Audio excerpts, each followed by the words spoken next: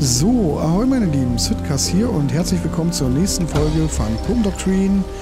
Wir beenden jetzt diese Mission. Kann man das hier wegklicken? Können wir machen. So. Gefahr durch Zivilisten. Aha, Zivilisten ausschalten bringt Gefahr. Gefahrenerhöhung. Also sollten wir gar nicht so viele Zivilisten aber ich habe doch jede Menge Zivilisten ausgeschaltet. Oder ist das der eine, den wir jetzt wirklich mit unserem Sniper erledigt haben? Okay, dann dürfen wir die wirklich bloß ausschalten. Mal nächste Mission drauf achten oder mal ein älteres Video gucken und dann mal drauf achten.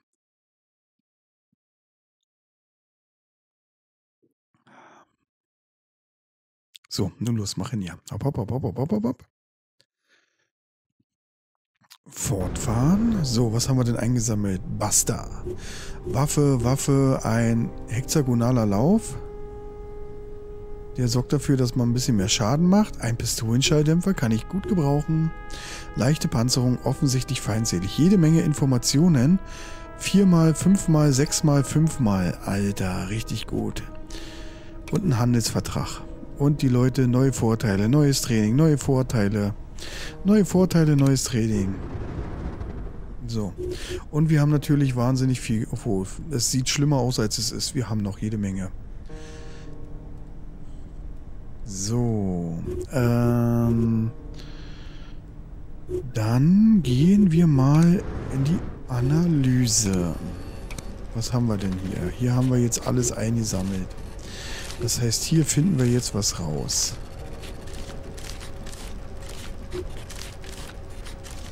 So, erstmal hier wieder ein bisschen Ordnung machen. So, was haben wir denn hier? Wir suchen Geisel und Topmodell.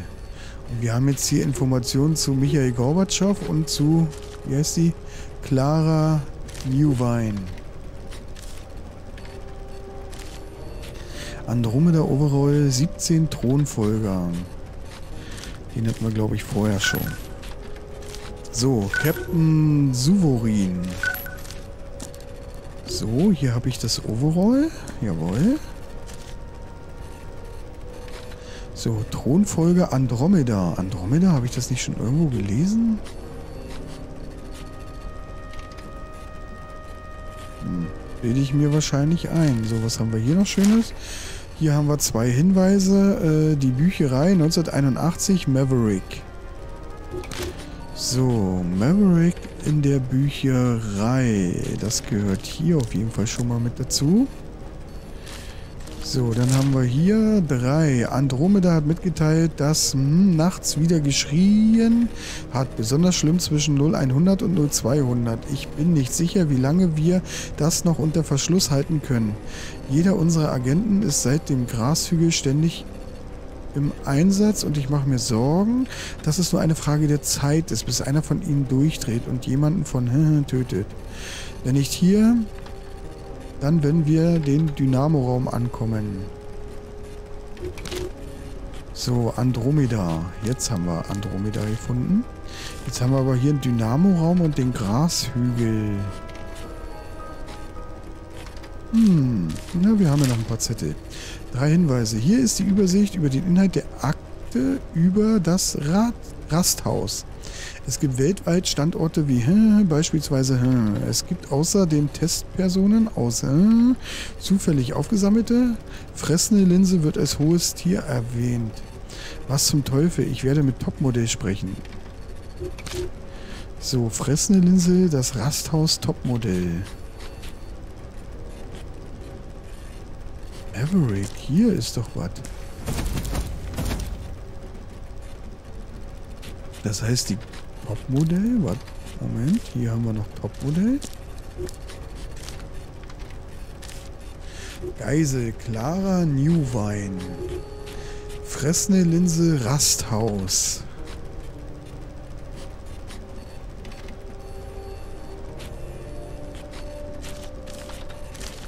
Aha das Rasthaus und die Grashügel. Captain Suri ist das Topmodell. Okay.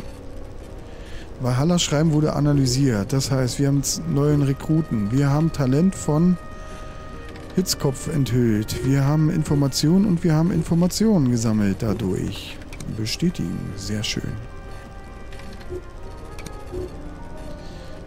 So, was haben wir denn noch? Hier fehlt noch einer. Einsatzbericht der HMS Conqueror. Die können wir auch noch fertig machen. Und erstmal ist wieder alles durcheinander. Hier haben wir erstmal Hongkong. Dann haben wir hier Britannicom.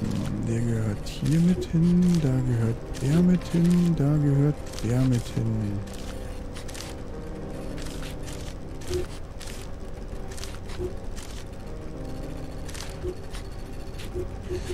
Das bildet hier ein in sich geschlossenes äh, Dingenskirchen. Passiert gar nichts. So. Sollen wir die mal noch einen Ticken hier reinnehmen? So, was haben wir denn hier noch Schönes? Kranführer Chorsänger.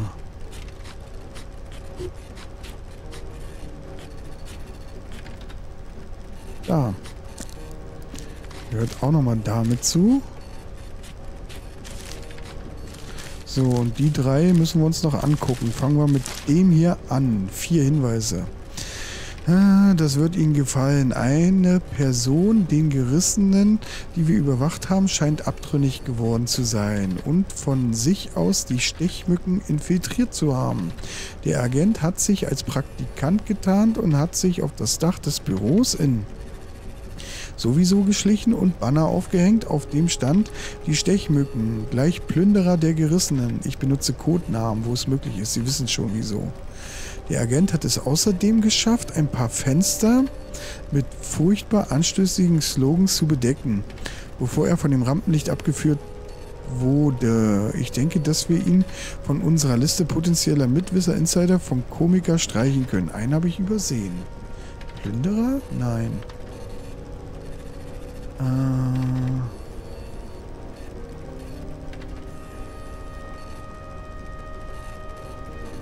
Mhm, mhm, mhm.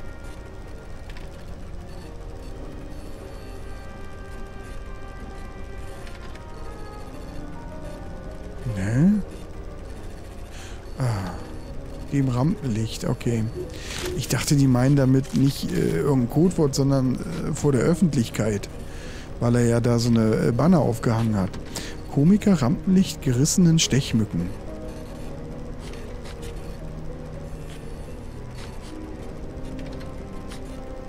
Gerissenen. So, also das hier scheint ein echt sehr verzweigtes Netzwerk hier zu sein. Komiker Rampenlicht Stechmücken.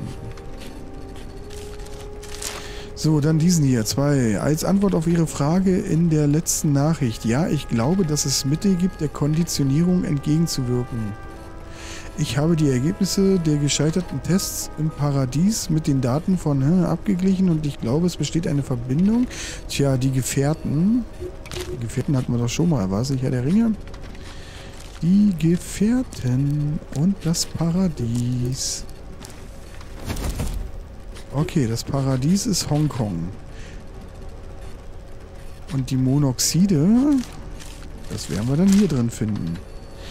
Ich habe einem Feuergefecht mit verloren und sitze im Gefängnis, weil die L-Pille versagt hat. Tja, Chorsänger will meinen Kopf dafür, aber seien Sie versichert, diesmal werden Sie dafür gerade stehen. Sorgen Sie einfach dafür, dass Sie einsatzbereit sind, wenn Sie sie an uns liefern. Ich habe gehört, dass die Monoxide mit der letzten Lieferung ebenfalls nicht zufrieden waren. Dieser Ausrutscher ne, hat Ihnen eine Menge Ärger mit den Kobolden bereitet. Es stand in der Zeitung. So.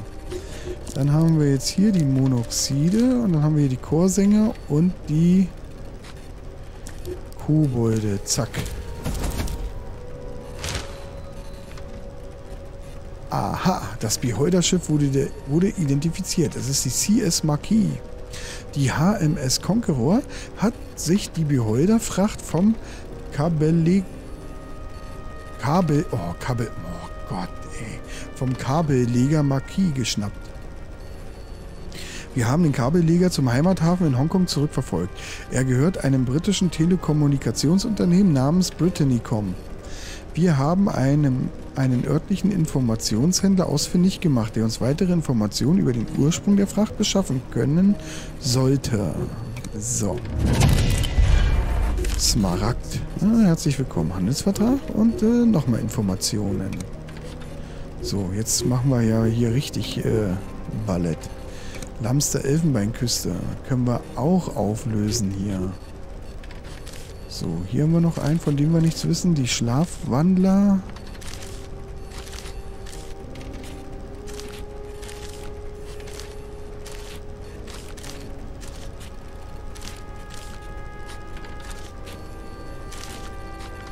Alter.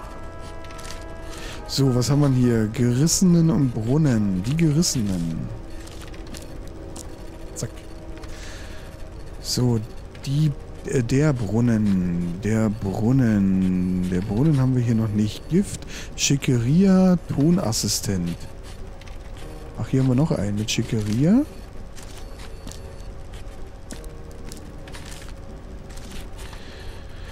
Das Billig-Chili, Großherzog, Jazzmusiker. Meine Güte, ihr habt aber auch alle beschissene Großherzog. Hier. Das scheint ja hier auch sehr vernetzt zu sein. Schlangenkette Schmarotzer. Schlangenkette.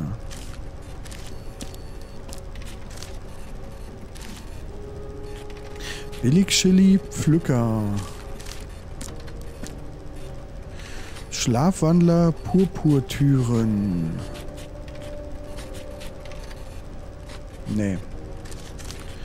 Hm, lass uns den anfangen. Drei Hinweise. Hörte, wir sind Eisfuchs, wie vorgegeben, bis zum Hafen in Dings Eisfuchs.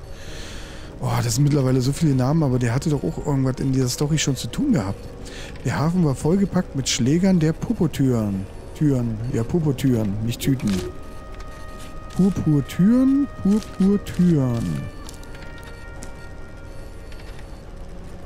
Ähm, Hirte, Eisfuchs. Hier, das gehört hier auch irgendwie zusammen. Hirte, das gehört hier auch zusammen. Schmarotzerbrunn, Pflücker, Tonassistent, Gift.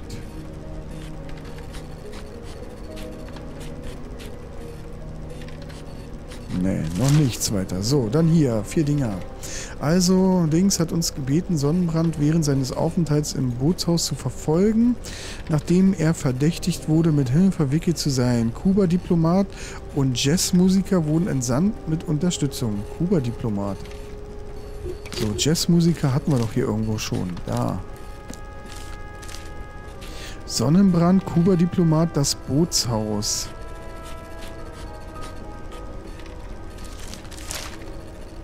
Zwei Hinweise. Solange Sie hinter Kuppelstange her sind, stellen Sie für uns keine Bedrohung dar. Was ist mit der Unternehmung in Danzig? Okay, noch einen Ort dazu bekommen. Denn in Danzig ist Kuppelstange. Aber Kuppelstange haben wir hier noch nicht. So, dann ist es wieder das letzte Papier, das alles aufklärt. Seit Februar kommen kritische Lieferungen mit erheblichen Verzögerungen an. Mein Team sowie das von Kuppelstange kann ohne diese Lieferung nicht arbeiten. Es ist erforderlich, dass Sie mit Insider sprechen und mehr Druck auf Dings ausüben. Ich möchte Sie zudem informieren, dass die Sicherheitsvorkehrungen sehr nachlässig sind. Schlafwandler hat berichtet und so weiter. So, Kuppelstange. Insider Schlafwandler. Hä? Insider. Na, aber hä? Dann habe ich doch jetzt hier... Der Brunnen, hier. Da haben wir's. Jetzt haben wir Hmm? Uh-huh. The details are sketchy, but I've a feeling we'll find him in that Yugoslavian black site. We'll check it out. Mhm, mhm, mhm. So. Cäsar ist jetzt äh, neuer Rekrut. Tapfer ist ein neuer Rekrut und Agentenbericht. Äh, achso, hier. Lamster hat jetzt Herstellung und wir haben endlich die scheiß Beholderzelle aufgedeckt. So, und dann haben wir hier noch Valhallas Korrespondenz. So, dann ist das ein Spaß. So, Treuhand, der Schreiber, die Quelle, die Knüpfer, Hervorbringer, die Raucher, das Tranchepaket, Obsidiane. So. Jawohl, die Opal? Fallrohr, Schwertkämpfer, Akademiker.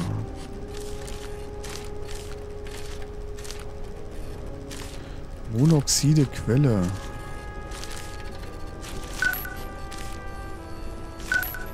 Managua?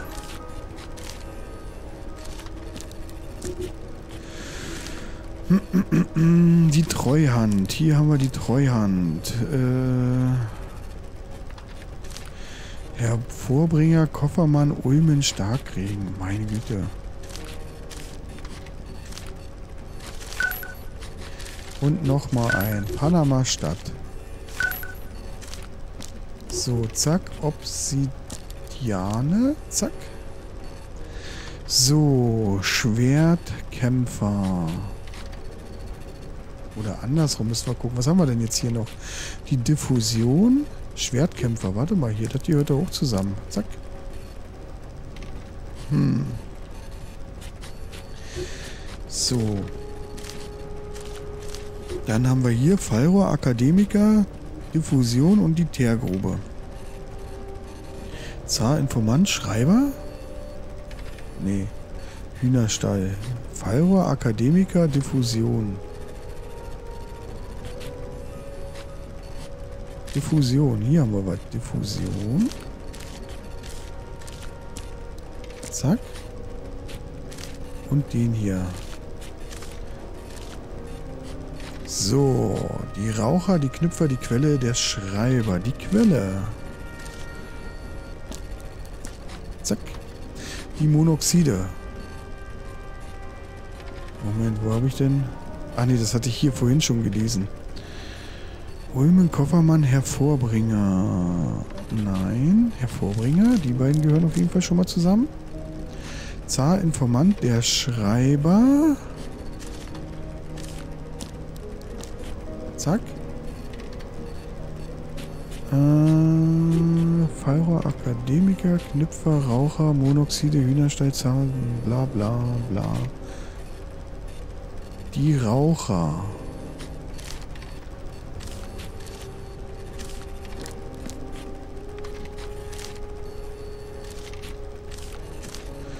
So, tja, und wieder die letzten Zettel werden die Entscheidung bringen. Aktennotiz 19, 19, ah nee, das ging mit 13, 13, 13. So, naja, wie auch immer. Äh, zeigt ein wenig zu viel Interesse an dem jüngsten Abgang unseres geliebten Anführers. Wenn sich jemand von da du, äh, durch den Zufallsfund von überzeugen lässt, könnte er 2 und 2 zusammenzählen und unsere Aktion in der Bücherei vermasseln. Wir haben dafür gesorgt, dass der Störenfried und äh, zu einer Konferenz in Dings eingeladen werden. Bericht dann an die Knüpfer. So, die Knüpfer, die Bücherei und 19. Die Knüpfer. Und wieder mal der letzte Zettel bringt die Entscheidung. Schlangenkette hat die Pflücker benutzt, um buchstäblich Tonnen von Erz für unbekannte Zwecke zu beschaffen. Wir haben dem natürlich ein Ende gesetzt, aber eine große Menge des Erzes hat die Teergrube bereits erreicht und ist verschwunden. Ich denke, dass die Kontakte aus der Operation in dem Starkregen uns hier weiterhelfen können. Genau, so, jetzt haben wir hier die Teergrube und wir haben hier äh, Pflücker. Starkregen, hier. Managua. So, heißt das also, die Leute wurden damals nach Managua gebracht? Ja, aber die, die haben irgendwas gesagt, die sind danach nach Malta mit dem Boot gefahren. Puh, so.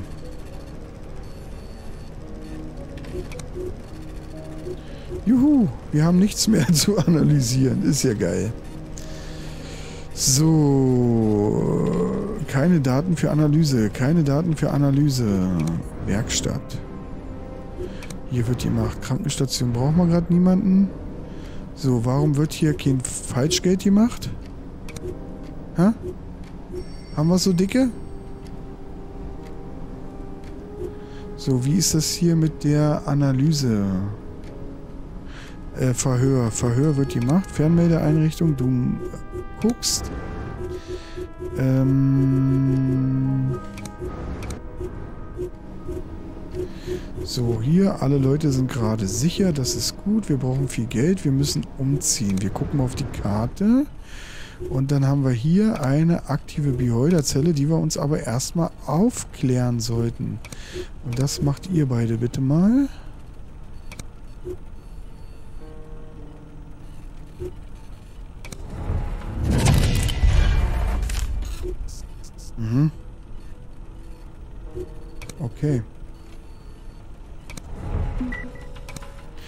Ist irgendwas. Da müssen wir noch wen hinschicken. Förster, du bist in drei Stunden da.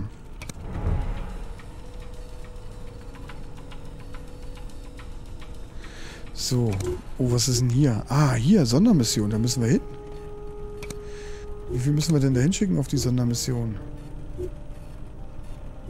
Ach so. Äh, das muss ja gar nicht heißen, dass wir da auch spielen müssen. Ja komm, dann fliegt man da schon mal hin. Wo sind denn meine ganzen Agenten, die ich hier hinten hatte? Können wir hier mal noch irgendwen wieder aus Madrid herschicken? Hier, Kapitän, kannst du mal darüber fliegen? Und können wir hier noch wen schicken? Kolos, fliegst du auch mal darüber?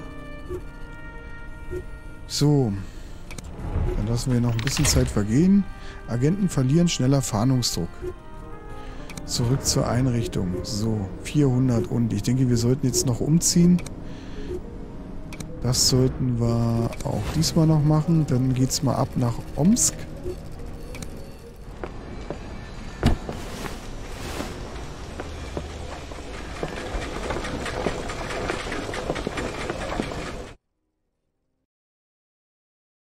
So, dann wird schnell neu geladen.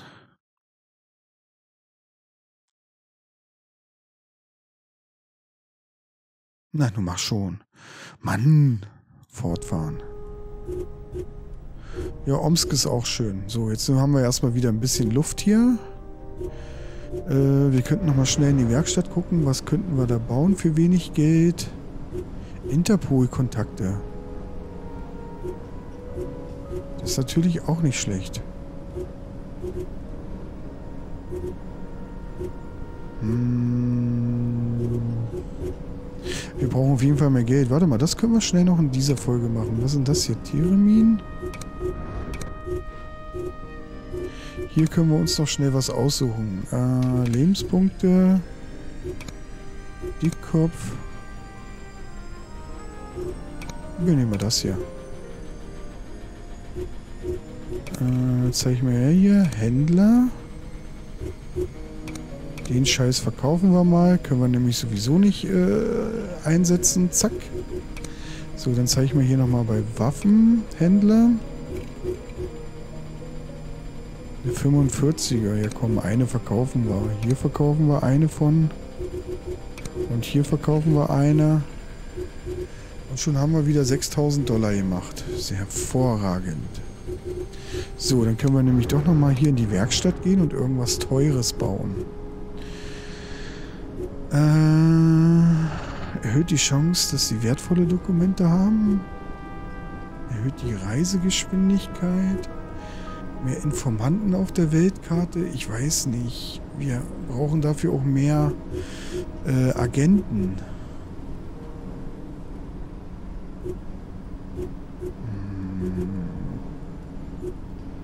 hier einen zweiten Platz, das wäre natürlich auch nicht verkehrt. Ich denke, das machen wir mal. Weil wir können im Moment bloß hier den einen verhören und der andere muss halt warten. Und erzeugt halt immer Gefahr. Gut. So, Dann hier nochmal hergeschaut. Also wir sind jetzt hier wieder in Omsk. Hier wird gerade taktisch aufgeklärt. Dann können wir also in der nächsten Folge hier angreifen. Hier fliegt einer hin und bringt uns ein bisschen in der Story weiter. Dann würde ich sagen, speichern wir jetzt. Einmal speichern. Ich bedanke mich für eure Aufmerksamkeit und äh, hoffe, wir sehen uns nächstes Mal wieder. Bis dahin, ahoi und ciao, ciao.